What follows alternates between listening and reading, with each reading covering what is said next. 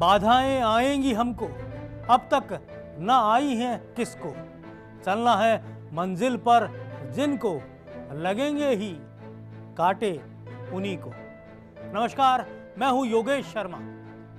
सुनाता हूँ कहानी मालानी के उस सपूत की, जिसने बाजरे की सूखी रोटी खाकर समाज के बीच चेतना की अलख जगाई, जिसके पास स्कूल की फ़ीस के पैसे नहीं थे।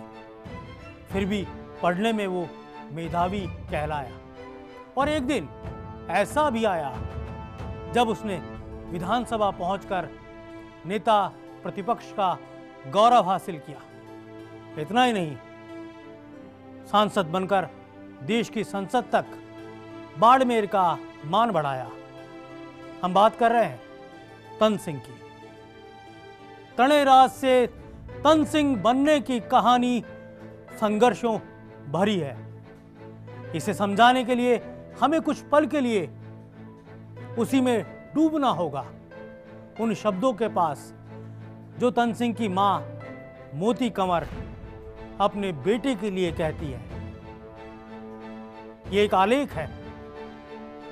विधाता ने मेरे भाग्य में केवल छह साल का सुहाग लिखा था। होनहार को कोई टाल नहीं सकता। बाड़मेर से 80 किलोमीटर दूर बैर सियाला, वही मेरा पीहर और मेरा जन्म स्थान। मेरे पिता का निधन हो गया था, जब मैं केवल आठ साल की थी। संवत 1976 माघ का महीना। मैं ठाकुर बलवंत सिंह जी, महेचा की अर्धांगनी बन दुल्हन का सहरा बांधे। हिंगलू से मांग भरे मैंने इस घर में प्रवेश किया। प्रेरणा सूत्र में बंधे। छह साल ही बीते थे कि वे चले गए। सदा के लिए उस महायात्रा पर।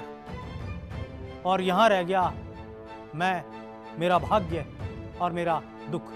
तणेराज विक्रमी संवत 1980 की, माघ महीने की, कृष्ण पक्षी चतुर्थी के सूर्योदय से पहले उसने मेरी कोख से जन्म लिया। मेरी पहली और अंतिम संतान। तणेराज बड़ा होने लगा। तभी पूर्णिमा के पहले ही कृष्ण पक्ष की काली छाया ने हमें आ घेरा। अभी वह ठीक से चलना भी नहीं सीखा था। कि कुंवर तनेराज से ठाकुर तनेराज हो गया। केवल चार साल के अबोध बालक के सिर पर सफ़ेद पाग बाँध दी गई, क्योंकि तो उसके पिता चल बसे थे।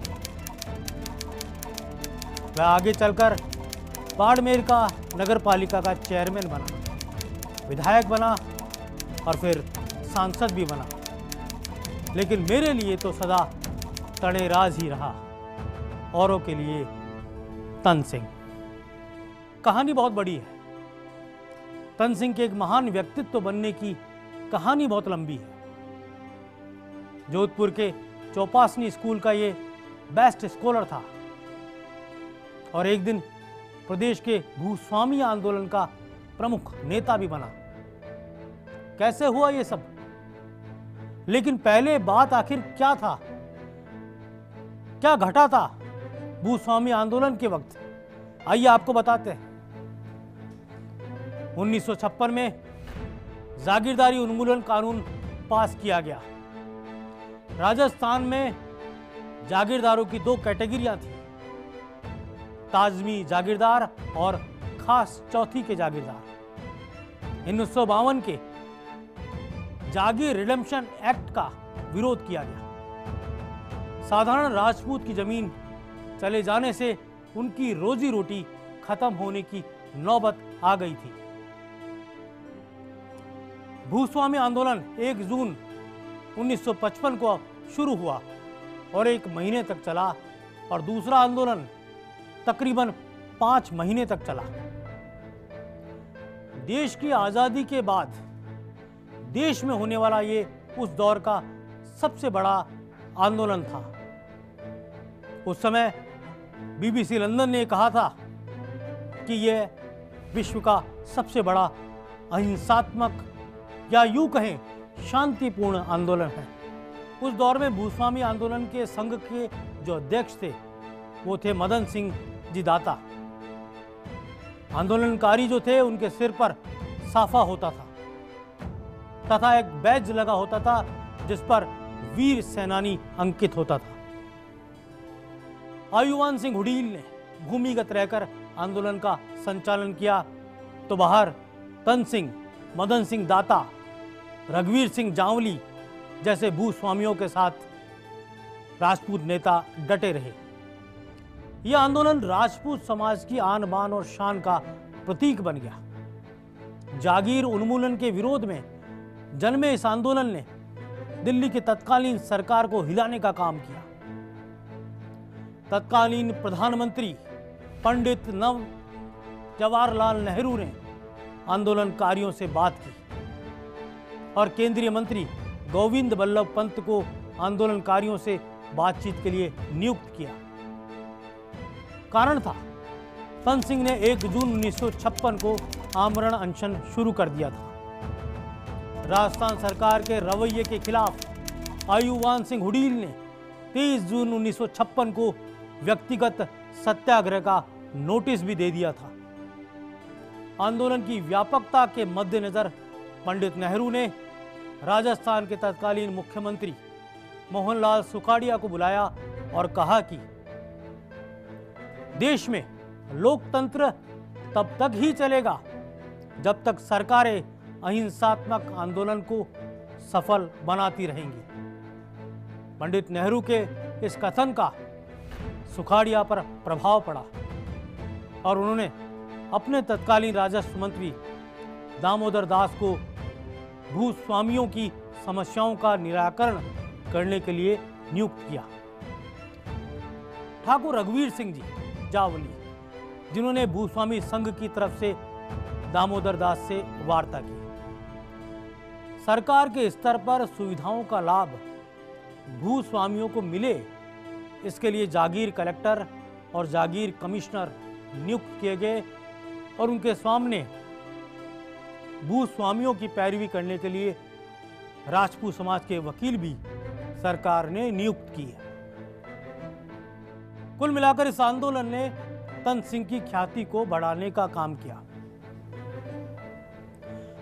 हालाँकि इससे पहले बहुत कुछ हुआ।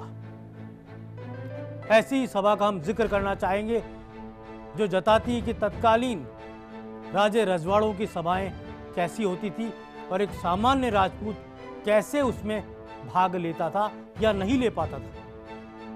ये सब आसान नहीं था। एक सामान्य राजपूत परिवार से आने वाले तन सिंह को राजे रजवाड़ों, जागीरदारों और राजपूत समाज के हक के लिए हो रहे भूस्वामी आंदोलन का नेतृत्व सौंप दिया जाए। तन सिंह पिलानी में पढ़ रहे थे। बुद्धिजीवियों के बीच तन सिंह अपनी पहचान बना चुके थे। उनका बनाया सामाजिक संगठन युवाओं में लोकप्रिय होने लग गया था। उन्हीं दिनों राजाओं का भी एक संगठन बना। ऐसे ही एक दिन राजे रजवाड़े, जागीरदार और सामंतों की सभा में तन सिंह को बुलाया गया। मारवाड़ राजपूत सभा में तो उनका अपमान तक किया गया और यहाँ तक कहा गया कि जिसके पास मोटर नहीं, बंगला नहीं, शस्त्र नहीं, वह क्या सभा का कार्य कर पाएगा, संगठन चला पाएगा? लेकिन जब तन सिंह ने अपनी बात रखी आयुवान सिंह उड़ील भी उस समय साथ थे तो उन्होंने अपनी वाणी से सबको प्रभावित किया। आम राजपूत को ऐसी सभा में आने का अधिकार तन सिंह के कारण मिला। अब आते हैं उस घड़ी की ओर, जिसको जानना बहुत ज़रूरी है। यह तन सिंह के अपने जीवन का सबसे अहम और विराट काम था। क्षत्रिय युवक संघ की स्थापना। 1944 का दिन, दीपावली की जगमगाती रात। सारा पिलानी नगर रोशनी में नहा रहा था। एक साधारण राजपूत युवक स्थानीय राजपूत छात्रावास के अपने कमरे में अकेले बैठा, चिंतन मनन में मग्न था। मन में विचार आ रहा था, मेरी इस कौम का क्या होगा? क्या मेरा समाज करवट बदलेगा? मेरे समाज को प्रकाशित करने वाली रोशनी कैसी होगी? कौन ऐसा दीपक बनेगा? मैं अपने इस जीवन में आखिर क्या करूँ? इस युवक की मन की व्यथा में से जन्मा उनका संकल्प है। श्री क्षत्रिय युवक संघ का निर्माण हुआ। और यह युवक था क्षत्रिय युवक संघ का संस्थापक तन सिंह।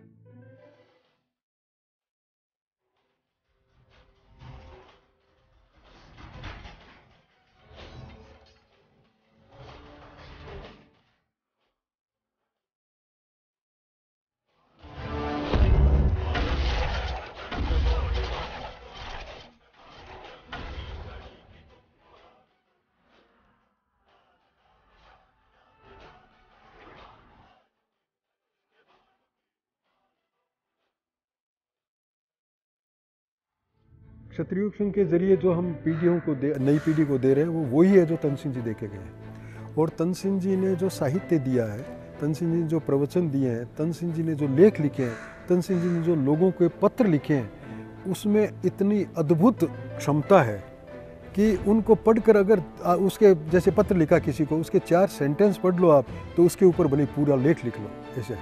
तो इस तरह से जो विचार दिया है, वो विचार ऐसा है जो युग युग तक सनातन विचार है मतलब सृष्टि के आदि से लेकर अंत तक रहने वाला है। उसमें ये मतलब नहीं कि भाई क्षत्रिय हो तो ये करो वो करो, घोड़े पे चढ़ो, तलवार लो युद्ध करो। अपने जीवन को ऐसा बनाओ कि हम क्षात्र धर्म के अनुकूल पहले तो खुद बने। अपने जीवन में भी कई राक्षस बैठे हैं, उनको तो निकालें। वो राक्षस मरेंगे तो दूसरों की बात होगी और मरते ही, मेरे मरते ही मैं कुछ नहीं कर सकता, जब तक एक संगठक शक्ति नहीं होगी। क्षत्रिय योग संघ का काम करने का तरीका। राष्ट्रीय स्वयंसेवक संघ से मेल खाता नज़र आता है, लेकिन क्षत्रिय युवक संघ की परिकल्पना 1944 में ही हो गई थी। उस समय तन सिंह की उम्र 20 साल की थी। प्रथम अधिवेशन जोधपुर में हुआ था।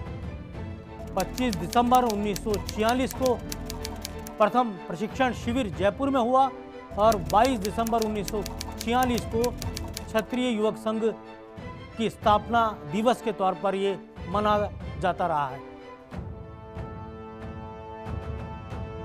और एक गीत भी गाया जाता है।